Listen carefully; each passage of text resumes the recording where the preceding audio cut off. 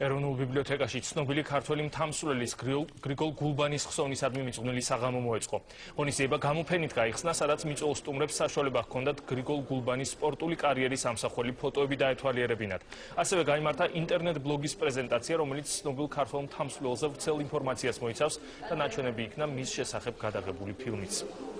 ისეთი საღამოების ჩატარება აუცილებელია, რადგან გრიგოლ გულბანი იყო საქართველოს ქართული სპორტის ერთ-ერთი ღირსეული წარმომადგენელი, რომელმაც საბჭოთა პერიოდის დროს შეძლო ქართული ალპინიზმი გაიტანოს თავისი ქვეყნის ფარგლებში, საბჭოთა კავშირში. გრიშა იყო თვითონ ისეთი პიროვნება, რომ მაგასთან გვერდზე ყოფნას კი უკვე სასიამოვნო იყო და მით უმეტეს თუმცა სახვიროდი საოცარი პიროვნება თბილი რბილი მეგობრული გამტანი.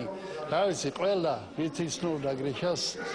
ყველა მაგიმაზე იყო რომ მაგისთან ადამიანები იბადებიან საუკუნეში ერთნი